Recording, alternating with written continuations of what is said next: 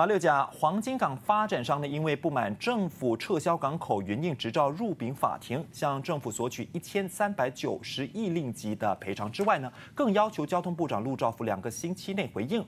陆兆福今天就透露，他目前还没接获对方信函，并指责对方的行为不合理。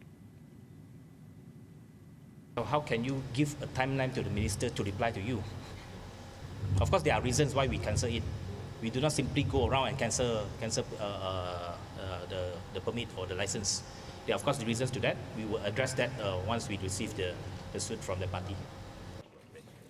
另一方面，陆兆福今天早上呢，到位于雪州万挠的史格米工厂巡视后，见证国家基建公司和史格米运输工程有限公司总值三亿三百万令吉的签约仪式。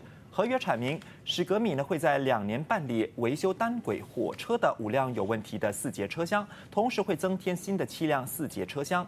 随着双方签约合作，这代表双方持续一年的法律纠纷也告一段落。